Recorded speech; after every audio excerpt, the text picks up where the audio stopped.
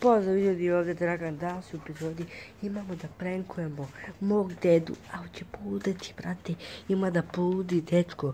Znači, ja se sam malo ne vidim, dobro, evo na svatko, evo, malo se ne vidim, a jebi ga, evo, vidit ćemo se tamo, ja ću doći tamo, pa, eto, kreće prank. Deda! Ajde, pokažu neku mađanski trik. Ajde, približi samo sto. I neće, a neće u... Ne, ne, ne, nije, ta, nije to ono što ti misliš. Nego približi samo sto. No, to. A ti sad vidi, ali ovo je ozbiljno. Stavi ruke, e, dve ruke ovdje. Ona ovako, ovdje stavi i jednu tu. Znači ovdje stavi. Ja ću onda, opa, ja ću onda ovo da stavim. Tako da mogu da pogodim. Tu, ovo ću tu da stavim, sad ću kad idem oko.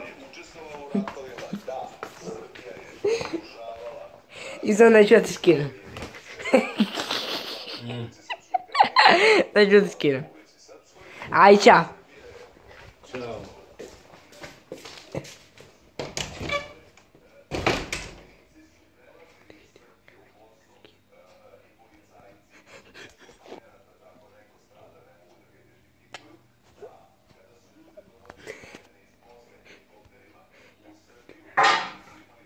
Evo te Bog da te jebu. Ja.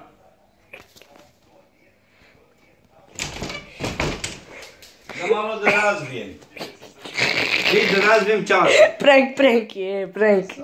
Ajde, nemoj da si Prank, prank je. Nemoj tako si. Prank je. Vidiš, Ajde, nosi to. Prank je. Za malo da razbijem. Ajde, beži. Prank je. Prank. Ajde, mani si, drago. Ša, prank je. Šao. Mani si te šale. Sjedi. Šao. Ajde, vidimo se. Važi, sjedi. Ćao. Idem. Ćao.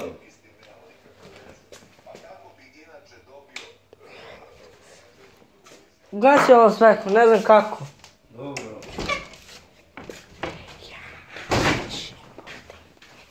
Ja, beži. Beži te, bra. Mogu me ubiti. Ček se kako ovu kameru prizvamati. Evo. Au, tebe mogu me ubiti. Prank je gotov. Ako želite još ovih klipova, ostavite like i subscribe i zapratite me na Instagramu. e, Gang je uvek tu za pomoć.